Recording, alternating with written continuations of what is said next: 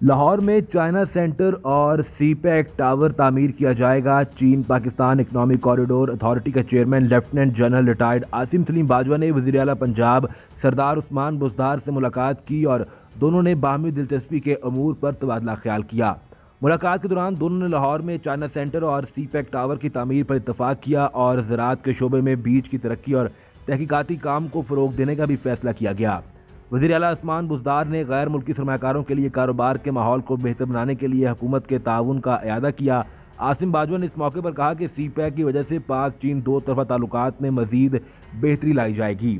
सी pack authority के chairman lieutenant general Asim Saleem Bajwa ने मंगल के रोज़ वजी उस्मान बुजदार से मुलाकात की और पंजाब में सी के जारी मनसूबों से मुतल उन्हें आगाह किया। मुलाकात के दौरान दोनों रहनुमाओं ने लाहौर में China centre CPEC tower बनाने की तजवीज़ पर भी इतफाक़ किया और इस बात पर भी इतफाक़ किया गया कि सनतकारों और सरमाकारों के लिए इंफॉर्मेशन डेस्क को चाइना सेंटर या सी पैक टावर में कायम किया जाएगा। इससे पाकिस्तानी ताजरों और सनतकारों को चीनी सनतों से मुतल तमाम तर मालूम और इन्फॉर्मेशन एक ही छत के नीचे जमा करने में मदद मिलेगी फैसला किया गया कि तेरह हज़ार एकड़ अराजी को बीज की नशुनमा और दीगर ज़रूरी तहकीकत के मकासद के लिए इस्तेमाल किया जाएगा वजी अला पंजाब ने मजीद कहा कि सनती ज़मीन की अलाटमेंट के लिए जवाबित और शफाफियत की सख्ती से अमल दरामद कराया जाएगा lieutenant general retired Asim Saleem Bajwa ने अपने रिमार्क्स में कहा कि पाकिस्तान की मीशत के इसकाम के लिए सी पैक एक इंतहाई अहमियत का हामिल मनसूबा है